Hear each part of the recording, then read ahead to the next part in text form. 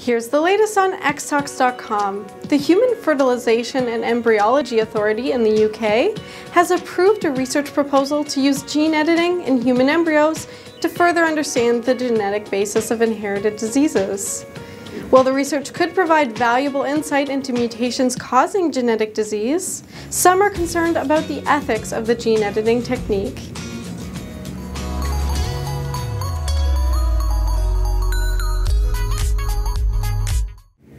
Hello, I'm Sarah Massey, life science blogger and webinar moderator for xtalks.com, and welcome to this edition of xtalks Vitals.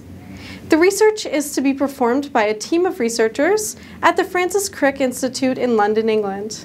The researchers hope that a better understanding of the genes necessary for normal embryonic development could lead to treatments for inherited conditions such as sickle cell disease and muscular dystrophy in the future.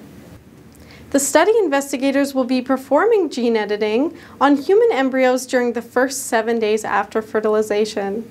During this time, the embryo develops from a single-celled fertilized egg into a multicellular blastocyst consisting of 200 to 300 cells.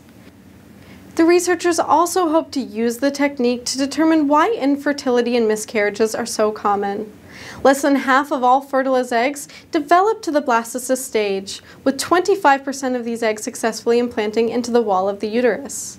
Only 13% of fertilized eggs continue to develop after three months of development.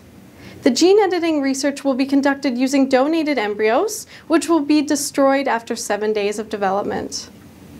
Critics of the technique warn that this research could pave the way for a future of so-called designer babies, whose personal traits, including eye color, height, and intelligence, could be designed before birth. Subscribe to the xtalks YouTube channel by clicking the subscribe button below, and visit xtalks.com for more information on this story and other new stories in the life science industry.